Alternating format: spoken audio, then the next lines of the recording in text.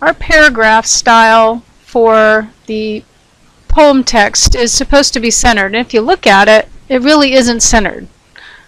You have to look kind of carefully, but see how Silver Bells is further over to the right?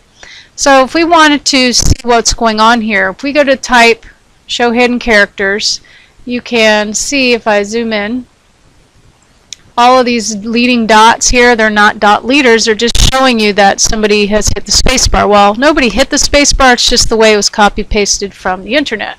So we're going to use um, InDesign to clean this up without having to go to each line and press delete a bunch of times.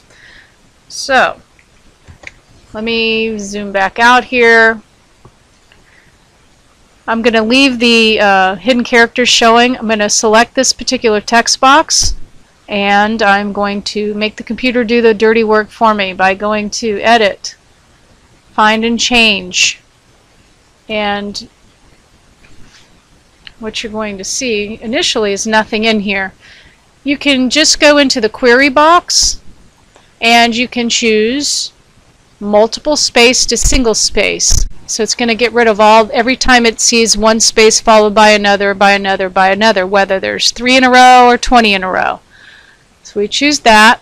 And if you look at this, it goes to this GREP tab. I have no idea what it stands for, but I'm sure I'll Google it at some point in my life.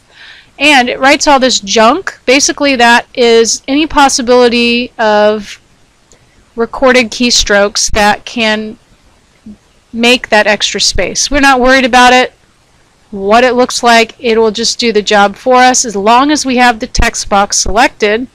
I'm going to hit change all and it's telling me it made 103 fixes or replacements. Click OK and take a look at, we're going to see all of these dots disappear. Now they're replaced. If I hit done, let me zoom in here. They're replaced with one, but one is a lot better than a bunch that threw off all of our centering. So now, if we really look at the whole page, you can see it looks pretty well balanced now.